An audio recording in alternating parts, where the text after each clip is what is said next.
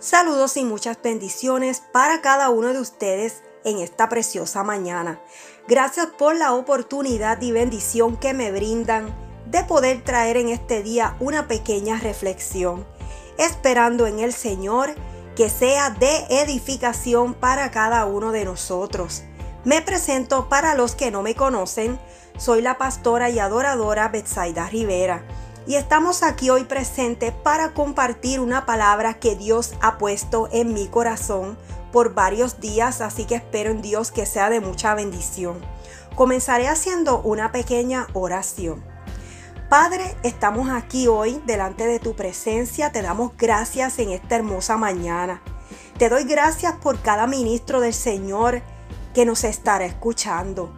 Te pido en esta reflexión que nos edifiques, y que si hay alguno de nosotros que se siente hoy desanimado, Padre, sé tú renovando nuestras fuerzas y que tu presencia esté siempre, Padre amado, en todo lo que hagamos para tu gloria y para tu honra.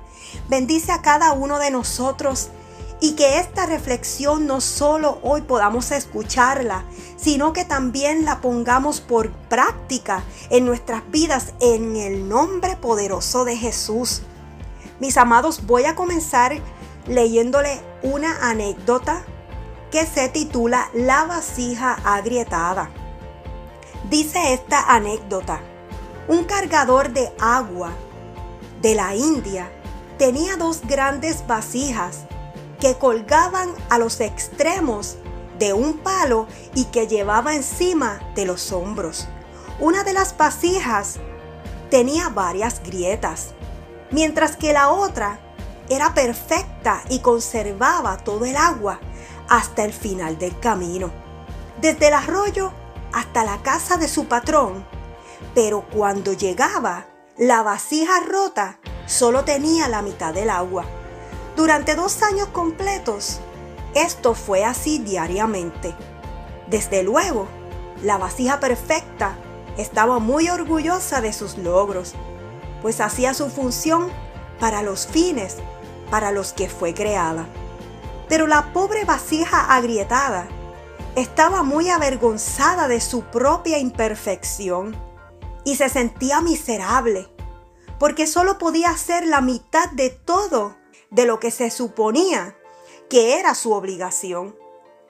Después de dos años, la vasija quebrada le habló al cargador de agua diciéndole, estoy avergonzada y me quiero disculpar contigo, porque debido a mis grietas solo pude entregar la mitad de mi carga y solo obtienes la mitad del valor que deberías recibir.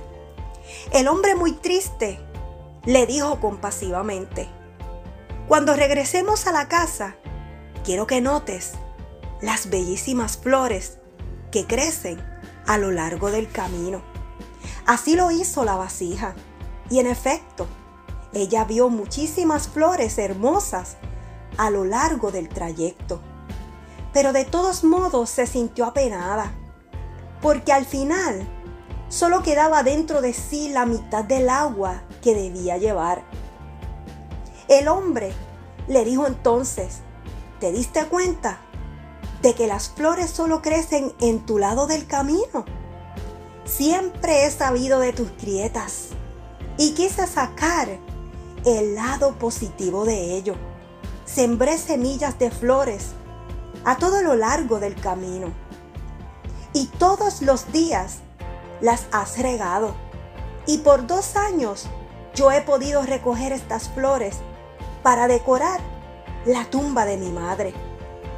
Si no fuera exactamente como eres, con todo y tus defectos, no hubiera sido posible crear esta belleza. ¿Qué significa la palabra vasija? ¿Qué es una vasija?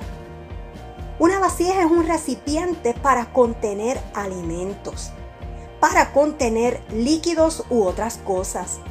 Es de forma más alta que ancha.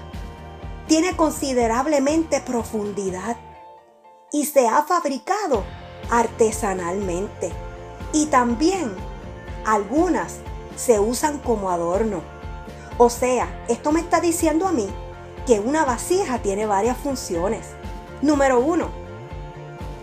Sirve para contener alimentos. Número 2. Se usa como recipiente para líquidos. Número 3. También se utiliza como adorno. ¿Cuántas de nosotras, las que somos mujeres, tenemos vasijas en nuestro hogar como adornos? Pero ¿qué pasa si una vasija que es utilizada para cargar cosas útiles o para adornar algún lugar es quebrada? Me impresiona y me deja analizando esta anécdota de la vasija quebrada. ¿Cuántos de nosotros en algún momento de nuestras vidas nos hemos sentido avergonzados por nuestras grietas. Grietas en el corazón, grietas en nuestros proyectos, grietas en nuestra familia.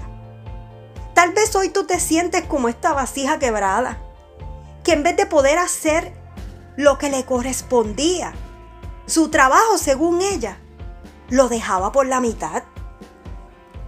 Te sientes incapaz de lograr algo en la vida porque ves a otros completos y con mejor capacitación que tú.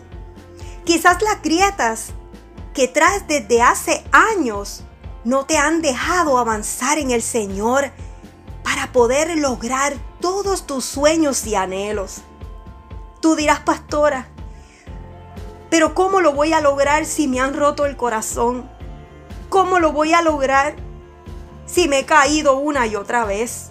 Me han empujado con violencia y no tengo fuerzas para continuar. Hoy yo te quiero compartir esta palabra que se encuentra en Primera de Corintios 1, verso 27. Sino que de lo necio del mundo escogió Dios para avergonzar a los sabios. Y lo débil del mundo escogió Dios para avergonzar a lo fuerte. Yo no sé por lo que tú estás enfrentando en este día. Quizás piensas que no tienes derecho a volverte a levantar. ¿Por qué? Porque tienes grietas, porque cargas marcas de tu pasado. O quizás recientemente te han herido.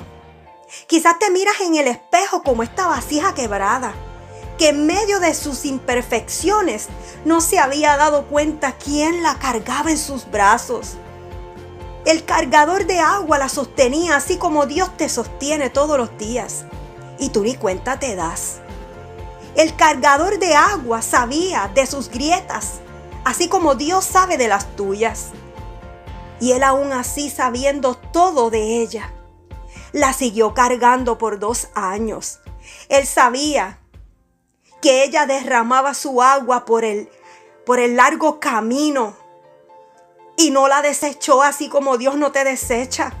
Más bien tuvo un plan y un propósito maravilloso a través de esta vasija que estaba agrietada. Asimismo, Dios hoy tiene un plan y propósito maravilloso para ti, para los tuyos, para tu familia, para tu ministerio, para tus hijos. Para ti que hoy quizás te sientes quebrado, te sientes quebrada. Dios no rechaza a nadie. Dios siempre tiene un plan perfecto, aunque tú no seas perfecto, aunque tú no seas perfecta. Mientras tú te avergüenzas de cómo te ves, de cómo te sientes, Dios está obrando y tú no te das cuenta. El Señor dice su palabra que escoge de lo vil del mundo para avergonzar a lo fuerte. Y aunque hoy estés quebrado, aunque hoy estés quebrada, aún hay esperanza para ti. Aquel hombre utilizó las grietas de aquella vasija para regar unas semillas que luego se convirtieron en un camino lleno de flores. Mira qué bendición. Las flores solo crecían del lado de la vasija quebrada, no del lado de la vasija perfecta. ¿Qué te quiero decir? No te avergüences de quién eres. Solo porque visualmente ves a otros mejores que tú. Cada cual hacemos nuestra función a la forma y diseño que Dios nos creó. Si hoy te identificas con esta vasija quebrada, ve al Señor en esta mañana preciosa. Ve a su presencia y dile que te muestre cuál es su plan y propósito para contigo. Ya no sigas sufriendo por lo que no tienes remedio. El Señor siempre tiene algo mejor para ti. Aun cuando todo parece perdido, Él sigue obrando a tu favor, porque la última palabra está en su boca. Dios puede sacar lo mejor de ti. Aun si te sientes agrietado, agrietada, Dios puede sacar lo mejor de ti. Dios me los bendiga. Ha sido una bendición para mí poder compartir esta reflexión en esta preciosa mañana. Espero que la puedan compartir con alguien más. Un abrazo en el amor de Cristo. Que tengan un excelente día. Muchas bendiciones.